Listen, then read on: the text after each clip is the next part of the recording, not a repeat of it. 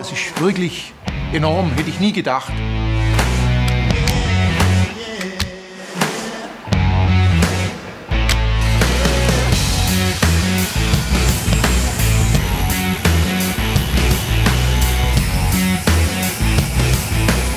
Ja, Wahnsinn.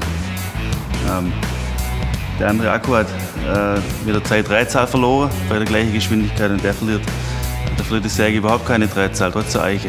Der Akku ist sehr gut, er ist sehr leistungsstark. Ich habe das probiert, die Maschine zum Stillstand zu bringen. Ich habe es nicht geschafft. Also Kraft ist einfach da hinten. Das kann ich mir schon vorstellen, dass wir demnächst umsteigen auf 8,0 Ampere Akku. Im Prinzip, es funktioniert schon fast von alleine.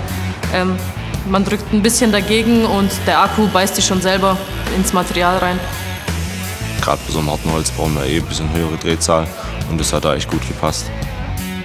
Der hat äh, mehr Power und spielt besser so wie Maschine mit Kabel und so. Also alles in allem ein Top-Ding. Das wäre für mich die Zukunft weg vom Kabel. Ja, der Akku, der war wie von einer anderen Liga.